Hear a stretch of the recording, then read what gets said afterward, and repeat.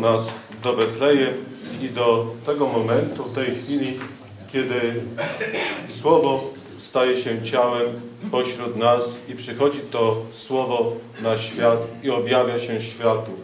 Dlatego niech te słowa Ewangelii będą dla nas okazją do tego, abyśmy tę wielką miłość, która przyszła na świat, potrafili przenieść do współczesnego świata, a więc nieść Ewangelię tym, którzy na nią czekają w swoim sercu.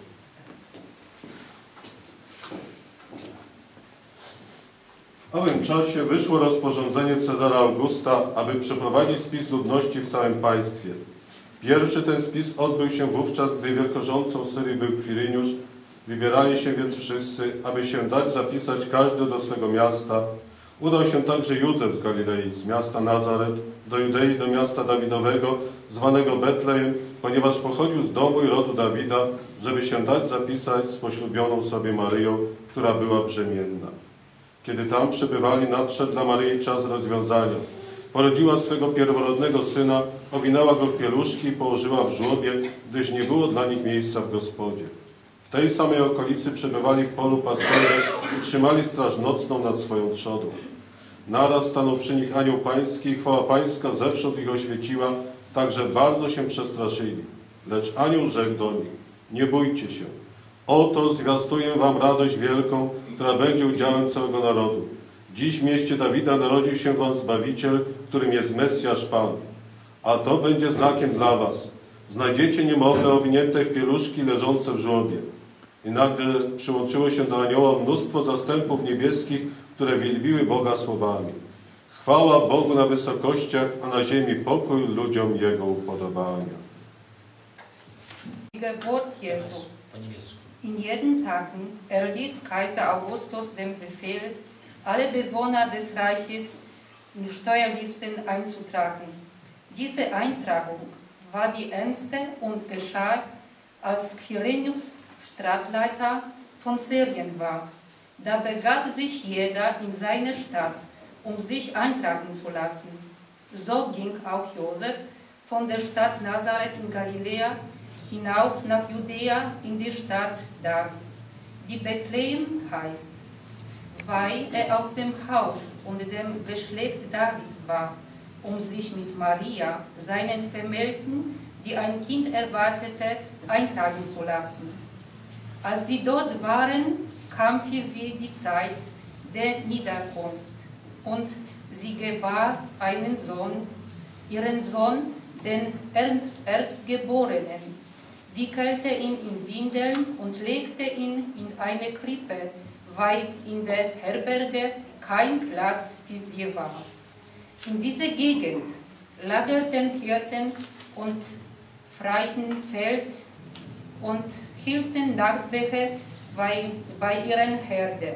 Da trat der Engel des Herrn zu ihnen und der Glanz des Herrn umstrahlte sie.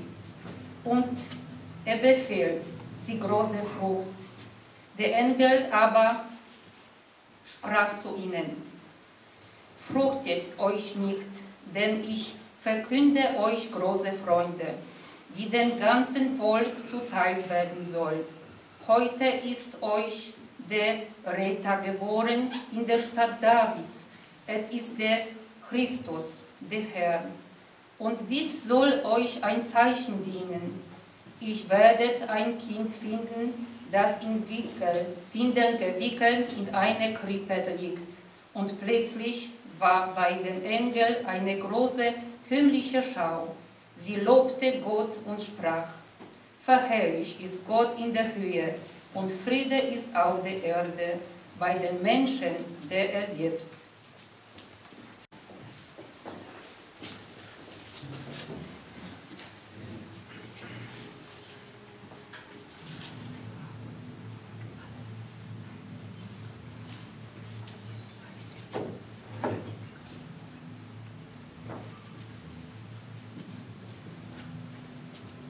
Najpierw może wyjaśnię w języku niemieckim dla gości, bo każdy z Was wie o co chodzi.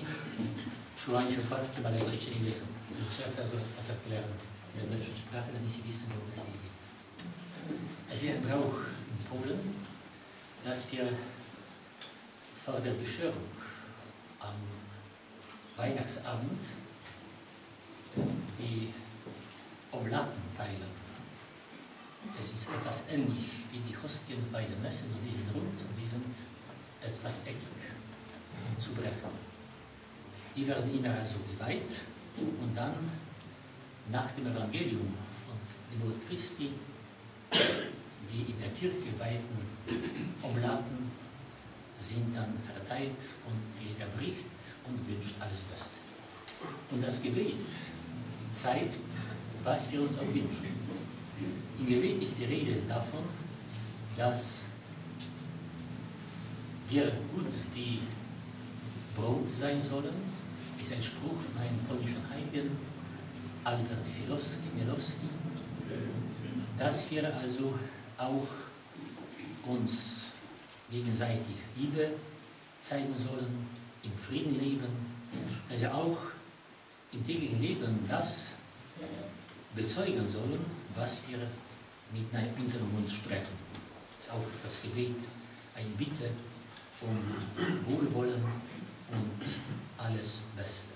Jest bardzo Gebet auf Polnisch sprechen. Wyjaśniłem o co chodzi, Wam nie objaśnię, to zaraz tę modlitwę odmówię. Módlmy się. Błogosławiony jesteś Panie Boże Wszechświata, bo dzięki Twojej hojności otrzymaliśmy chleb, który jest owocem ziemi i pracą ludzkich. Ty z miłości posłałeś na świat swojego jednorodzonego Syna, który pod postacią chleba daje nam swoje ciało jako pokarm i zadatek nieśmiertelności.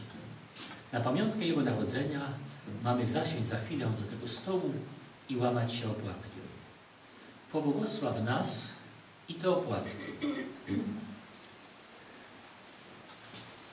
którymi będziemy się dzielić zwyczajem naszych ojców i składać sobie wzajemne życzenia.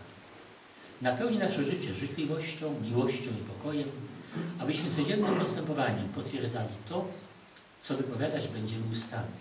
Spraw, abyśmy byli dla siebie nawzajem dobrzy jak chleb i kiedyś zgromadzili się na braterskiej uczcie w Twoim Królestwie. Przez Chrystusa Pana naszego.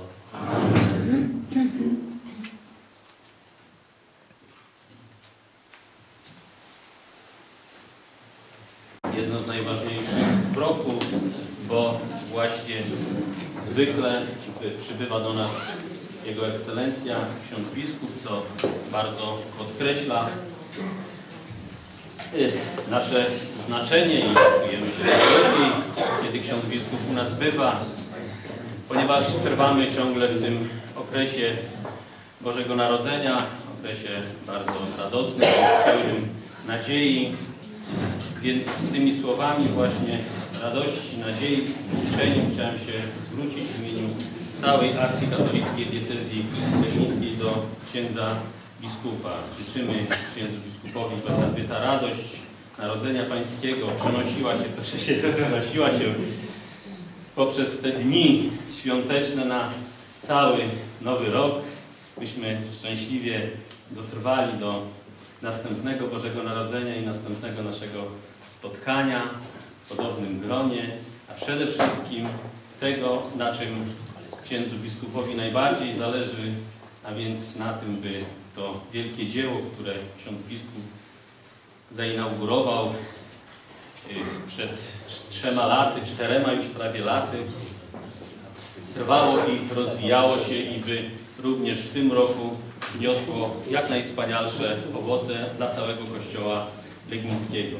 Życzymy w związku z tym dużo zdrowia, dużo wytrwałości, dużo roztropności, no ale także tej właściwej księdzu biskupowi yy, konsekwencji w egzekwowaniu yy, właśnie tych zadań od ludzi, którzy się tych zadań podjęli, a więc także i od akcji katolickiej.